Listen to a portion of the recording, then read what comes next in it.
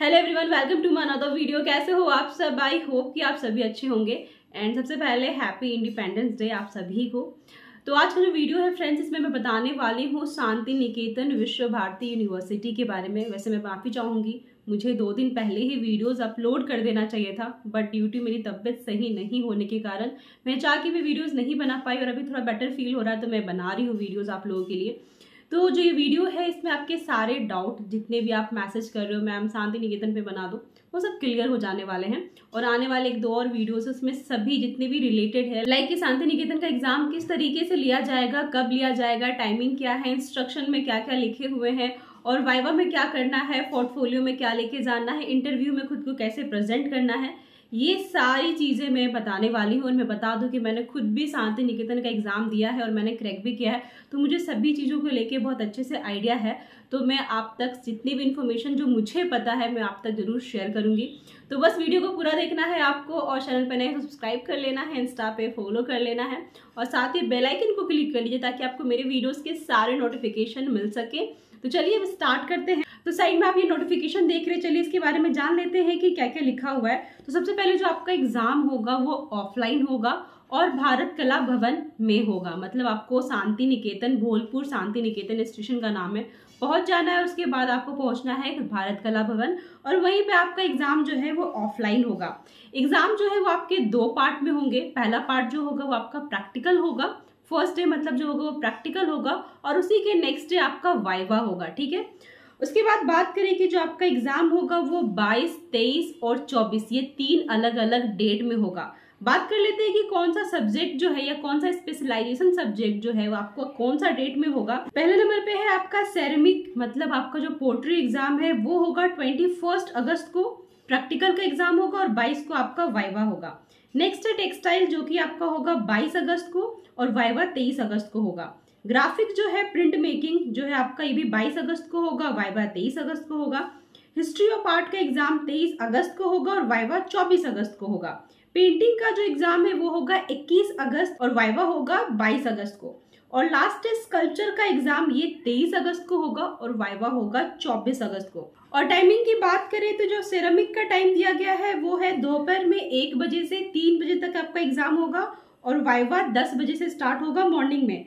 Textile का exam होगा नौ बजे से ग्यारह बजे तक मॉर्निंग में और वाइवा सुबह नौ बजे होगा। प्रिंट मेकिंग का जो एग्ज़ाम होगा, वो भी दोपहर में एक बजे से तीन बजे तक होगा और वाइवा आपका मॉर्निंग में नौ बजे होगा। पेंटिंग का जो एग्ज़ाम है, वो सुबह में नौ बजे से ग्यारह बजे तक होगा और वाइवा सुबह में नौ बजे होगा। और स्कल्पचर का जो एग्ज़ाम है, वो मॉर्निंग में होगा नौ से ग्यारह और वाइवा होगा आपका सुबह में नौ बजे। तो ये आपके एग्ज़ाम की टाइमिंग है। बता दो कि जो आपका प्रैक्टिकल एग्ज़ाम है, इसके लिए आपको दो घंटे का समय दिया जा रहा है। नेक्स्ट रिपोर्टिंग टाइम की कब तक आपको पहुँच जाना है? तो जो नौ बजे से एग्ज़ाम स्टार्ट होगा, उसको साढ़े सात बजे मॉर्निंग में पहुँच जाना है। और जो एग्ज़ाम एक बजे से दोपहर में स्टार्ट होगा, उसे मॉर्निंग में साढ़े ग्यारह बजे पहुँच जाना है। ये आपका रिपोर्टिंग टाइमिंग है। एंड वाइबा में बोला गया है कि आपको आधा घंटा पहले पहुँच जाना है। देखिए क्या होता है कि जब आप एग्ज़ाम दोगे जिस डेट में मतलब आपका एग्ज़ाम अगर पेंटिंग का 21 तारीख को है तो 22 तारीख को वाइवा है। और बता दो कि इस बार चेंज किया गया है। हर बार वाइवा ना सेकेंड डे नहीं थर्ड डे होता था।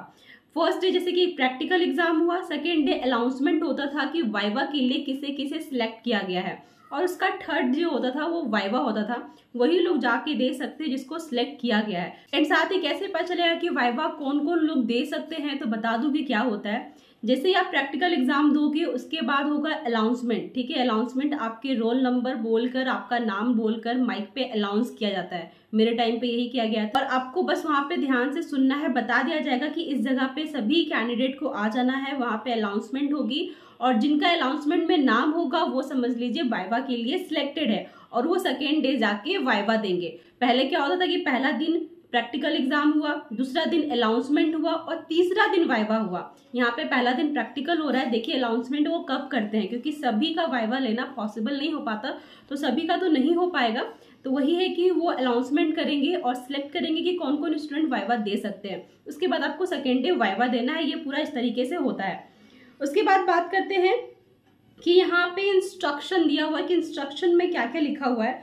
बोला गया है कि एप्लीकेशन फॉर्म का प्रिंट आउट लेके जाना है। यहाँ पे साफ़ क्लियर लिख भी दिया गया है कि note the C U T application form मतलब जो सी यू टी का एप्लीकेशन फॉर्म है, वो लेकर मत चले जाइएगा। जो आपने प्रैक्टिकल एग्ज़ाम के लिए अगेन रजिस्ट्रेशन किया था, वो आप एप्लीकेशन फॉर्म लेके जाएँगे, उसका प्रिंट आउट लेके जाएँगे। उसके बाद लिखा हुआ कि एक आईडी प्रूफ आपको खुद से कैरी करना है। नेक्स्ट है आपका सर्टिफिकेट बोला गया है कि सारे सर्टिफिकेट खुद लेके जाने हैं। और इसमें भी एक क्वारी आती है कि मैम सर्टिफिकेट में समझ नहीं आ रहा कौन कौन सा सर्टिफिकेट लेके जाएँ तो नेक्स्ट जो वीडियो होगा उसमें मैं सर्टिफिकेट पे अलग से बना दूँगी कि आपको कौन कौन सा सर्टिफिकेट लेके जाना है। अब बात करते हैं नेक्स्ट जो लिखा हुआ इंस्ट्रक्शन में कि टूल्स जो भी आपके ड्राइंग टूल्स है, वो आपको खुद से कैरी करने हैं। बता दो कि अगर आप पेंटिंग के एग्ज़ाम दे रहे हैं तो वहाँ पे सिर्फ़ आपको पेपर प्रोवाइड किया जाएगा, वो भी ए थ्री साइज़ का। बाकी जितने भी आपको ड्राइंग मटेरियल है, वो आपको खुद ही कैरी करने हैं। जो स्कल्पचर वाले हैं स्कल्पचर वाले को सिर्फ़ मिट्टी प्रोवाइड किया जाएगा। जितने भी औज़ार होते हैं टूल्स होते हैं स्कल्पचर की, वो सब आपको खुद कैरी करने हैं। टेक्सटाइल का भी सेम है, मिट्टी दिया जाएगा, आपको टूल्स खुद से ही कैरी करने हैं। तो इस तरीके से है। एंड नेक्स्ट है, आपका लिखा हुआ कि वाइवा में पोर्टफोलियो दिखा जाएगा, ठीक है? जब आपका वाइवा होता है मतलब उसमें इंटरव्यू होता है, और इंटरव्यू में आपका पोर्टफोलियो देखा जाता है। तो मैं बता दूँ कि जो नेक्स्ट वीडियो होगा, उसमें मैं आप लोग को ये गाइड करूँगी कि इंटरव्यू किस तरीके से देना है आपको, किस तरीके से खुद को प्रेजेंट करना है और साथ ही कि आपको पोर्टफोलियो में क्या क्या लेके जाना वहाँ पे ज़रूरी होता है। ऐसा क्या लेके जाए ताकि आपका अच्छा इम्प्रेशन बन पाए। तो ये भी आपको नेक्स्ट वीडियो में जानने को मिलेगा। तो इस वीडियो में जितने भी नोटिफिकेशन में लिखा हुआ था, वो मैंने आपको अच्छे से क्लियर समझा दिया है। तो इस वीडियो में इतने ही आई होप आपको वीडियो अच्छी लगी हो तो बस कमेंट कर दीजिएगा, कैसा लगा वीडियो शेयर कीजिएगा वीडियो को जितना ज़्यादा हो सके। मिलती मैं आपसे नेक्स्ट वीडियो में, अपना ख्याल रखिए और अच्छे से प्रैक्टिकल के लिए प्रिपेयर हो लीजिए। नमस्ते and thank you for watching and good night